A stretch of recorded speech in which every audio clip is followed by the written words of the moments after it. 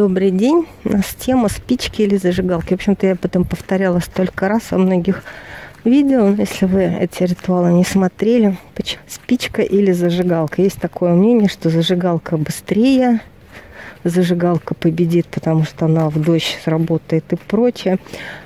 И газ тоже природный. Проблема в том, что они ненавидят запах газа. Поэтому даже если вы воду кипятите для ритуала, э, это электрич... если у вас газ, это электрический чайник. Они терпеть не могут запах газа. Поэтому быстрее зажигалка работает удобно или неудобно, они могут вообще э, заблокировать ваш ритуал, не принять его в смысле. И работаете на своей силе. И покойные они перенимают это от них.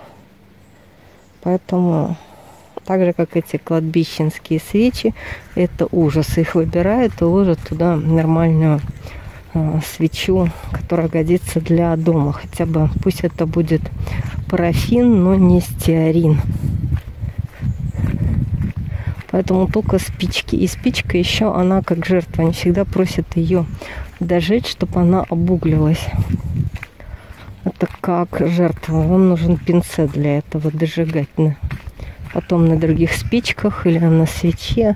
Им нравится горелое дерево. Для них это как такая, ну, пусть очень старое, но засохшее, но оно живое и оно горит. Вот для них это ценность. Эту зажигалку, ну, они могут принять, если у вас крайний случай, вот вам плохо. Понимаете, так же, как возле заправок, где очень много. Почему не в городе считается, а на природе, где меньше этих запахов бензина. Ну, так как они не такие вредные, они обычно не упираются в городе, еще как-то принимают. Но около заправок что-то делаем, ну, только в крайнем случае. Вот если у вас действительно крайний случай, где очень много запахов этого газа, бензина, и им не нравится. На самом деле, поэтому зажигалка или спичка тут в ритуале не идет удобно вам, неудобно, пользуйтесь свечой э, и спичками.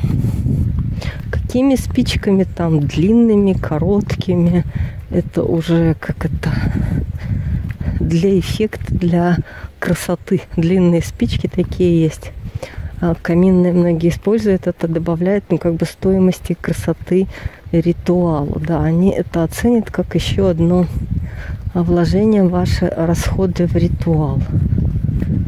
Вот в таком плане, да, дорогие спички, им тоже нравятся. Я им приносила несколько раз а, в дар такие черного дерева.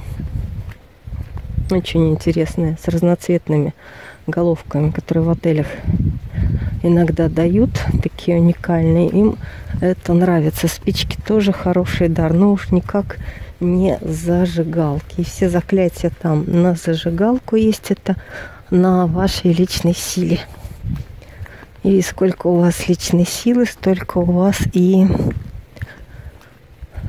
эффекта получится. такой вот краткий экскурс, почему не зажигалка не годится. Это, ну что, очень много мнений, очень много споров. Но это все бессмысленно, нечем спорить. Газ природный, но им не нравится запах. Вот запах жженных перьев им нравится. Что из них хуже, газ или перья, я не знаю. Им нравится жженная кость вот в костре, там это куриное или что кидаешь, им тоже очень нравится. Для нас это ужасно. Им нравится шерсть вот паленая. Им тоже нравится. А для нас это кошмар. Запах вот именно шерсти, если подожгете нитку, будет как кости жгешь. Им это нравится. Наше мнение и их, оно не совпадает. Ну, вернее, совпадает, но вовсе не всегда. Мы разные вообще. Мы очень разные, и у нас далеко не все одинаково. Так же, как себе мы а, подаем фрукты, режем дольками, лимоны, там все им целый. Орехи у нас подают колотые. им целые дороже. Ну, колотые они примут, но целые дороже.